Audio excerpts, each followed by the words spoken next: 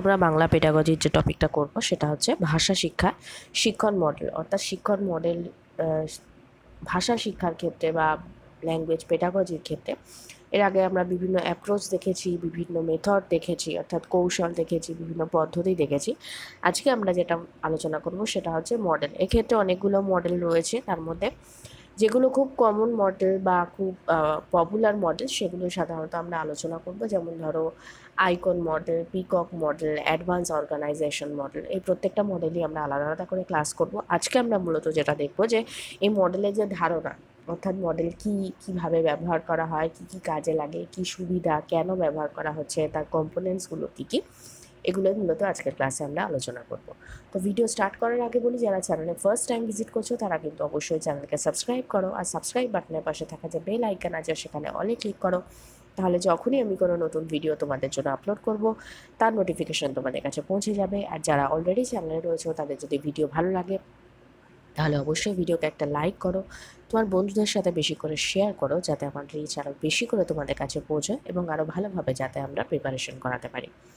তো ভিডিও শুরু করার আগে আরেকটা কথা বলে রাখি যে এই মডেলগুলো সাধারণত আমরা দেখে থাকি যে যারা ধরো আমরা যে টেট এক্সামের জন্য প্রিপারেশন করছি সেখানে কিন্তু সাধারণত আমরা যে ট্রেনিং নিয়েছি অর্থাৎ বিএড ডিএলএড বা স্পেশাল বিএড যে ট্রেনিং নেবে সেখানে কিন্তু ল্যাঙ্গুয়েজের ক্ষেত্রে এই মডেলগুলো কার্যকরী করে। কিন্তু যদি তোমরা প্রিভিয়াস ইয়ার্স যেহেতু ওই লাস্ট ইয়ার যে প্রাইমারি হলো সেখানে আমরা দেখেছি যে বলা হয়েছিল যে সিটেটের প্যাটার্নে কোশ্চেন হবে এবং অনেকটা কিন্তু সেই প্যাটার্নে হয়েওছে।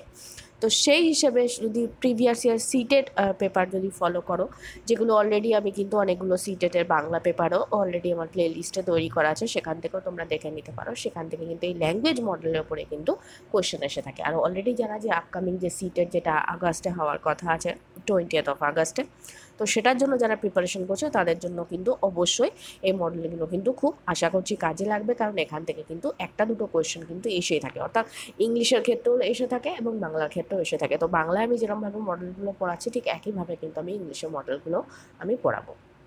তো চলো আজকে ক্লাস শুরু করা যাক। আর এর সঙ্গে সঙ্গে বলে দিই, যদি কারণ মনে হয় যে সাউন্ডে কিছু প্রবলেম হচ্ছে, এই মুহূর্তে গলার অবস্থা খুবই খারাপ। যতটা আমি পারছি যে ক্লিয়ার তোমাদের কাছে সাউন্ড নিয়ে আসা, তাও যদি কিছু অসুবিধা হয়, তাহলে আগে থেকেই কিন্তু তার জন্য আমি সরি বলে রাখছি। তো ফার্স্টেই আমরা যেটা দেখব যে মডেল কী বা মডেল কেন ব্যবহার করা যায়? বিভিন্ন টেকনিক্স মেথডস এগুলো তো ছিলই অ্যাপ্রোচেস এগুলো তো ছিলই, কিন্তু হঠাৎ করে মডেলকে কেন আনা হলো? শিখন এবং শিক্ষণ, আমরা, আমি, আমরা বারবারই বলে থাকি যে টিচিং অ্যান্ড লার্নিং এটা একই প্রসেসে দুটো পার্ট অর্থাৎ উইদাউট টিচিং লার্নিং কমপ্লিট নয় আর উইদাউট লার্নিং টিচিং কমপ্লিট নয়। তাহলে সেক্ষেত্রে শিক্ষণ এবং শিক্ষণ পারস্পরিক ক্রিয়ার একটা সামগ্রিক ফল এবং শিক্ষণের এমন কোনো তত্ত্ব বা থিওরি গঠন করা হয়নি এখন অবধি, যেখানে শিক্ষণের সমস্ত জিনিস সেখানে উপস্থিত আছে। এর আগে আমরা থিওরিজগুলো দেখেছি, বিভিন্ন থিওরিজ দেখেছি, তো থিওরিগুলো যারা করনি কারণ মডেল বুঝতে গেলে কারণ থিওরির ওপর বেস করেই কিন্তু মডেল আছে। কারণ থিওরি যে জায়গাগুলো গ্যাপ আছে, সেগুলোই মডেলে উপস্থাপন করা হয়েছে এবং তার থেকেই কিন্তু মডেলের ধারণাটা এসেছে। তো সেক্ষেত্রে আমি বলব যারা থিওরিগুলো পড়েনি থিওরিগুলো দেখো, কারণ থিওরি থেকেও কিন্তু পেটাগতিতে কোয়েশ্চেন আসে। তো সেই হিসেবে সকল প্রকার শিক্ষার্থীর কথা মাথায় রেখে, শিক্ষক বা শিক্ষিকার সকল প্রকার আচরণের কথা মাথায় রেখে, যেহেতু সমস্ত রকম থিওরি বা অ্যাপ্রোচেস বা মেথডস টেকনিক্সে যেহেতু সব কিছু একসঙ্গে ব্যবহার করা যায় না, তো সেই হিসেবে বিভিন্ন শিক্ষণ তত্ত্বের বিকল্প হিসেবে শিক্ষামূলক বিদ্যায় এই যে শিক্ষণ মডেল যেটা রয়েছে, তার গঠন এবং বিকাশ এটার ধারণা আনা হয়েছে এবং এটা কিন্তু এই শিক্ষাক্ষেত্রে একটা নতুন উদ্ভাবন বলা যায়, একটা নতুন আলো বলা যায় বা একটা নতুন বিকাশ হিসেবেও কিন্তু এটাকে ধরা হয়। তো মডেল বলতে কি বোঝায়? হঠাৎ মডেল কথাটা এলো কোথা থেকে বা কীভাবে এলো? তো মডেল শব্দটি আমরা সাধারণত কি বুঝে থাকি? যে কোনো কিছুর একটা যে ধরো আমরা একটা কোনো টপিক পড়ছি বা কোনো কিছু জিনিস দেখছি, তার যে একটা ক্ষুদ্র রূপ তৈরি করা। ধরো আমরা যে বাংলায় হাট কবিতা শিশুদের পড়াচ্ছি। এবার হাট সম্পর্কে যারা গ্রাম বাংলার শিশু তাদের কাছে একটা সহজ, সচ্ছল ধারণা থাকে। কিন্তু যারা একটু শহুরে এলাকায় তাদের কাছে হাট সম্বন্ধে কোনো ধারণা নেই। তাহলে হাটে তাদের কাছে যদি পড়াতে হয়, তাহলে তাদের সামনে হাটের একটা চিত্র আনতে হবে বা কোনো মিনিয়েচার হাটের একটা মিনিয়েচার একটা মডেল তৈরি করে দেওয়া হলো। তাহলে কি হচ্ছে? যে জিনিসটা পড়ানো হচ্ছে বা যে সম্পর্কে ধারণা দেওয়া হচ্ছে, তার একটা ক্ষুদ্র প্রতিকৃতি তাদের সামনে তুলে ধরাটাই এটা একটা মডেলের মতো হচ্ছে। যদিও ল্যাঙ্গুয়েজ পেডাগজির ক্ষেত্রে মডেলের ধারণাটা একটু আলাদা। সেখানে মডেল বলতে কি বোঝানো হচ্ছে? সেখানে বলা হচ্ছে যে যে তথ্যগুলো প্রাপ্ত অর্থাৎ যে ডেটাগুলো কালেক্ট করা হচ্ছে, সেগুলোকে সাজিয়ে গুছিয়ে তাদের মধ্যে একে অপরের মধ্যে যে সম্পর্কগুলো আছে, সেই সম্পর্ক স্থাপন করা এবং তাদের মধ্যে যে সম্পর্কগুলো আছে, সেগুলোকে লক্ষ্য করা। তো সেই হিসেবে শিক্ষণ সংক্রান্ত বিভিন্ন সৃজনাত্মক কার্যাবলীর একটি আদর্শ রূপ হলো শিক্ষণ মডেল কেন সৃজনাত্মক বলা হচ্ছে? ক্রিয়েটিভিটি সঙ্গে কী সম্পর্ক? মডেল হিসেবে আমি আগেই যেটা বললাম, সাধারণত কী বুঝি যে কোনো একটা জিনিসের ক্ষুদ্র প্রতিকৃতি। তাহলে সেই মিনিয়েচারটা তৈরি করতে বা সেই মডেলটা তৈরি করতে গেলে একটা ক্রিয়েটিভিটি তো লাগে, একটা সৃজনাত্মক বোধ লাগে। তাহলে এবং শুধু সৃজনাত্মক বোধ না, এবং সেটাকে বাস্তবিক রূপ দেওয়ার জন্য সেই সৃজনাত্মক কার্যাবলীও করতে হয়। তো সেক্ষেত্রে শিখন মডেল হিসেবে কিন্তু সেই সৃজনাত্মক কার্যাবলীর একটা পরিকল্পনা বা সংগঠন, যেটি ব্যবহার করা হয় পাঠ্যক্রমকে রূপদান করতে। অর্থাৎ যে বিষয়ে পাঠদান করা হচ্ছে, তার একটা প্রতিকৃতি তৈরি করতে তার একটা রূপদান করতে ব্যবহার করা হয়। শুধু তাই নয়, তার পাশাপাশি বিভিন্ন নির্দেশনামূলক উপকরণ সাজাতে, অর্থাৎ বিভিন্ন টিএলএম গঠন করতে, শ্রেণীকক্ষ এবং অন্যান্য পরিস্থিতি যে নির্দেশনা আছে সেগুলো সেগুলো যাতে ভালোভাবে নির্দেশগুলো দেওয়া যায় সেগুলো সহায়তা করতেও কিন্তু এই মডেল রয়েছে। তাহলে এক কথা যদি বলা যায় যে বিভিন্ন ডেটা কালেকশন করা, সেগুলোকে এক জায়গায় নিয়ে আসা এবং যদি প্রয়োজন পড়ে সেগুলোকে ক্ষুদ্র প্রতিকৃতি হিসেবে সেগুলোকে, সেই পাঠ্য বিষয়বস্তুকে শিক্ষার্থীদের সামনে সুন্দরভাবে উপস্থাপন করা। মডেলের বৈশিষ্ট্য কি? আদর্শ শিক্ষণ মডেলে সুসামঞ্জস্য পূর্ণ তথ্য বিন্যাস থাকবে। অর্থাৎ তার যে ডেটাগুলো থাকবে সেগুলো যেন খুব সুন্দরভাবে উপস্থাপন করা থাকে বা সুন্দরভাবে সাজানো থাকে যাতে শিক্ষার্থীরা সেগুলো থেকে সহজেই গ্রহণ করতে পারে। আদর্শ শিক্ষণ মডেলে শিখন পরিবেশের বিবরণ থাকা বাঞ্ছনীয়। যে শিখন পরিবেশে শিখন হবে, সেই শিখন পরিবেশ সম্পর্কে একটা ধারণা যেন মডেলের মধ্যে থাকে। আদর্শ শিক্ষণ মডেলে বৈজ্ঞানিক এবং মনোবৈজ্ঞানিক প্রণালীতে প্রস্তুত করা হবে। বর্তমান শিক্ষা ব্যবস্থা যেহেতু মনোবিজ্ঞান সম্মত শিশু মনোবিজ্ঞান সম্মত তাহলে সেখানে মনোবিজ্ঞানের সঙ্গে বিজ্ঞানেরও একটা সম্পর্ক আছে। তাহলে স্বাভাবিকভাবে যে মডেল যখন তৈরি করা হবে, সেখানে মনোবিজ্ঞান এবং বিজ্ঞানসম্মত উভয় জিনিসই কিন্তু তার তার উপর ভিত্তি করেই প্রস্তুত করতে হবে। আদর্শ শিক্ষণ মডেলে শিক্ষণের ফলাফল সম্পর্কে পরিষ্কার ও দ্বৈততাহীন বক্তব্য বাঞ্ছনীয়। মডেলের ফলে যে শিক্ষণের যে ফলাফল আসবে, অর্থাৎ পাঠ্যপুস্তকের পাশাপাশি মডেলের মাধ্যমে যখন শিক্ষাদান করা হবে, তাহলে সেক্ষেত্রে যে ফলাফল বেরোবে সেটা সম্পর্কে একটা স্বচ্ছতা থাকতে হবে। সেক্ষেত্রে কোনো দ্বিমত পোষণের জায়গা থাকবে না। তাহলে পরিষ্কার এবং দ্বৈততাহীন বক্তব্যের কথা এখানেই বলা হচ্ছে একটি আদর্শ শিক্ষণ মডেলে শিক্ষার্থীর সম্পাদিত কাজের বিচার বিধির মান সুনির্দিষ্ট করে উল্লেখ থাকবে। অর্থাৎ সেক্ষেত্রে শিক্ষার্থীর কী ভূমিকা থাকবে? সে কতটা কাজ করবে? তার কাজের মান কি হবে? তার আচরণবিধির কী মান? এই সমস্ত কিছু কিন্তু এর মধ্যে উল্লিখিত থাকবে। আদর্শ মডেলের মাধ্যমে শিক্ষার্থীর দক্ষতা সম্পর্কেও সুষ্ঠু ধারণা লাভ করা যায়। মডেল যখন তৈরি করা হয়, সেক্ষেত্রে কিন্তু সাধারণত বল দেখা যায় যে শিক্ষক বা শিক্ষিকা তারা ইনস্ট্রাকশন দিয়ে দেন এবং তার উপর নির্ভর করে শিক্ষার্থীদেরই কিন্তু মডেল তৈরি করতে তো হয়। তাহলে সেক্ষেত্রে শিক্ষার্থীদের যে এই মডেল তৈরি করার ক্ষেত্রে যে দক্ষতা এবং তাদের দক্ষতা কতটা সে সম্পর্কে একটা সঠিক ধারণা লাভ করা যায়। শিক্ষণ মডেল এমনভাবে তৈরি করা হবে যেখানে এই আচরণগত উদ্দেশ্যগুলির উল্লেখ থাকবে। সেক্ষেত্রে শিক্ষার্থীর যে আচরণ বিধি থাকবে, অর্থাৎ তারা কীভাবে সেটা গঠন করছে, তাদের দক্ষতা কতটা, তাদের দুর্বলতা কতটা, তারা কতটা সাবলীলভাবে কাজ করছে, তাদের সৃজনাত্মক বোধ কতটা বৃদ্ধি পাচ্ছে প্রত্যেকটি আচরণবিধি যে উদ্দেশ্য সেগুলো যেন সফল হয়। আদর্শ শিক্ষণ মডেলে শিক্ষক বা শিক্ষিকার উপযুক্ত মান পরিমাপে সাহায্য করবে। সেক্ষেত্রে শিক্ষক বা শিক্ষিকা যেহেতু মডেল তৈরি ক্ষেত্রে তারা যেহেতু নির্দেশনা দান করবেন, তারা যেহেতু ইনস্ট্রাকশন দেবেন, তাহলে সেক্ষেত্রে তারাও কতটা এক্ষেত্রে উপযুক্ত ভূমিকা পালন করছেন বা যথাযোগ্য ভূমিকা পালন করছে কিনা সেটার মানও কিন্তু পরিমাপ করা হবে। শিক্ষণ মডেলের উদ্দেশ্য কী? যেটা আগেই বললাম যে বিভিন্ন টেকনিক্স ছিল, কৌশল ছিল মেথড ছিল, অর্থাৎ পদ্ধতি ছিল, তত্ত্ব ছিল তার উপরে ভিত্তি করে তো টেকনিক যে থিওরিগুলো আছে, তার উপরে ভিত্তি করেই তো অ্যাপ্রোচেস মেথডস এগুলো তৈরি হয়। তাহলে তারপরেও কেন মডেল আনা হলো? এর প্রয়োজনীয়তা কী? এর উদ্দেশ্য কী? শিক্ষার্থীদের তথ্য সরবরাহ করা, অর্থাৎ তাদের পাঠ্য বিষয়বস্তু সম্পর্কে যতটা সম্ভব ক্লিয়ারলি তাদের কাছে ডেটা পৌঁছে দেওয়া।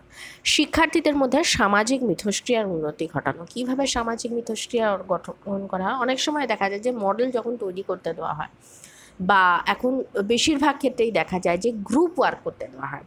তো গ্রুপ ওয়ার্ক করতে দেওয়া বা দলগত কার্যের দ্বারা কিন্তু শিক্ষার্থীদের একে অপরের প্রতি সহযোগিতা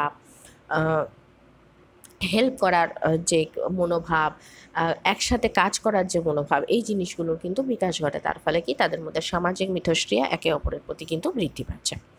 শিক্ষার্থীদের নিজস্ব ব্যক্তিগত গুণাবলী সরবরাহ করা। শিক্ষার্থীদের যে নিজস্ব যে ব্যক্তিগত আছে, তার তাদের মধ্যে যে ক্রিয়েটিভিটির প্রকাশ পাচ্ছে, তাদের মধ্যে যে দক্ষতা প্রকাশ পাচ্ছে, এগুলো সরবরাহ করা। শিক্ষার্থীদের আচরণ ধারাকে উন্নত করা। তাদের একটা নির্দিষ্ট নিয়মাবলীর মধ্যে তারা যাতে স্বাধীনভাবে তাদের দক্ষতাগুলি প্রকাশ করতে পারে, এগুলো তাদের তাহলে কী হচ্ছে? তাদের নিয়ন্ত্রণ পরিবেশের মধ্যে হচ্ছে, নিয়ন্ত্রিতভাবে হচ্ছে, কিন্তু তার সত্ত্বেও কিন্তু তাদের আচরণ ধারার মধ্যে উন্নতিকরণ ঘটছে। আর এটাই কিন্তু মডেলের প্রধান উদ্দেশ্য। এই মডেলের কিছু কিছু উপাদান আছে এবং যার ভিত্তিতে এই মডেলগুলি গড়ে উঠেছে। প্রথমেই যে উপাদানটা হচ্ছে সেটা হচ্ছে কেন্দ্রবিন্দু বা যেটাকে আমরা ফোকাস বলে থাকি। অর্থাৎ কিসের জন্য এই মডেলটি তৈরি করা হচ্ছে? নেক্সট কি? এর বিন্যাস বিধি বা যেটাকে আমরা সিনট্যাক্স বলি। মডেলটি কার্যকরী করার জন্য শিক্ষক বা শিক্ষিকা কী কী পদক্ষেপ পদক্ষেপ গ্রহণ করবেন সেটাই হচ্ছে তার বিন্যাস বা সিনট্যাক্স নেক্সট হচ্ছে প্রতিক্রিয়া নীতি বা প্রিন্সিপাল অফ রিয়াকশন শিক্ষক বা শিক্ষিকা কী নীতি অনুসরণ করবেন, কীভাবে প্রতিক্রিয়া করবেন, তার বিবরণী তিনি যেটা রাখবেন বা তার বিবরণী যে লিখে রাখা বা কোনো জায়গায় কালেক্ট করা বা কোনো জায়গায় সঞ্চিত রাখা, গচ্ছিত রাখা, সেটাই হচ্ছে প্রতিক্রিয়া নীতি।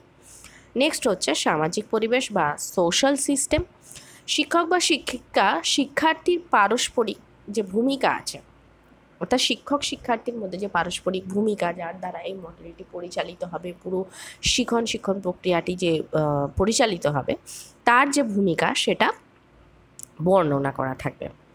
সহযোগীতন্ত্র বা সাপোর্ট সিস্টেম, শিক্ষক বা শিক্ষিকা বিভিন্ন শিক্ষামূলক প্রদীপন, অর্থাৎ যেগুলোকে আমরা টিএলএম বলে থাকি টিচিং লার্নিং মেটেরিয়ালস সেগুলো ব্যবহার করে শিক্ষণ মডেলকে কার্যকরী করে তোলে। লাস্ট কি? প্রয়োগের ক্ষেত্র বা অ্যাপ্লিকেশন কনটেক্সট শিক্ষক বা শিক্ষিকা বিভিন্ন রকম মডেলের মধ্যে থেকে বাছাই করে থাকেন যে কোনটি বেশি কার্যকরী হয়ে থাকে। অর্থাৎ মডেল তো অনেক রকমের হয়। কিন্তু কোন মডেলটি কোন ক্ষেত্রে, কোন বিষয়ের ক্ষেত্রে অ্যাপ্রোপ্রিয়েট কোন শিক্ষার্থীদের ক্ষেত্রে অ্যাপ্রোপ্রিয়েট কোন ক্লাসের জন্য সেটা অ্যাপ্রোপ্রিয়েট অর্থাৎ কোন শ্রেণির শিক্ষার্থীদের জন্য কোন মডেল ব্যবহার করা হবে, কোন বিষয়ের ক্ষেত্রে কোনটা ব্যবহার করা হবে, সেটাই হচ্ছে তার প্রয়োগের ক্ষেত্র। মডেল ব্যবহার কোন কোন ক্ষেত্রে করা হয়? প্রথমেই যেটা হয় সেটা হচ্ছে শিক্ষার্থীদের জ্ঞান বৃদ্ধিতে সাহায্য করে। শিক্ষার্থীদের তথ্য সম্পর্কে ধারণা দিতে সাহায্য করে, যেটা তো প্রথমেই বলা হলো।